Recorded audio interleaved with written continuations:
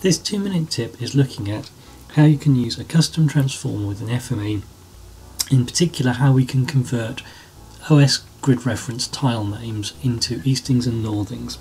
And we can also have a look at a practical example of how this works.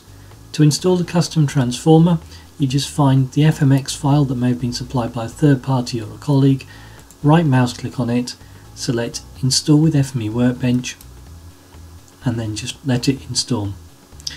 FME will then install this transformer successfully into your copy of FME. When you next open FME Workbench, this transformer will be available within the transformer gallery. So in this case we've set it up to appear in a folder called Ordnance Survey and the transformer is there. To use this transformer you can use it in any way you would do with a normal transformer. So we can open up the existing workspace and this workspace scans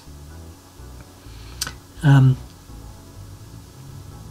image tiles from the Ordnance Survey and create an image map from them. So I can just select my transformer, drag it onto the canvas in the same way, connect it to my existing workflow, choose the attribute containing the grid reference name, which in this case I know is my tile name, and then when I run this workspace it will generate a PDF output showing me where all of the OS tiles have been created and updated for this imagery update. And we should end up with a PDF map output like this.